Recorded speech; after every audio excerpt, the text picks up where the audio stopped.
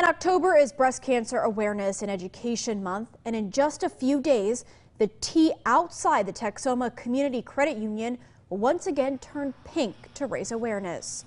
The credit union is inviting members of the community to come Friday beginning at 9 a.m. If you are unable to make it to the event, a pink ribbon coloring page will be available in all of the bank lobbies starting Friday, and they will donate $1 to the American Cancer Society and Susan G. Komen for every completed coloring page returned.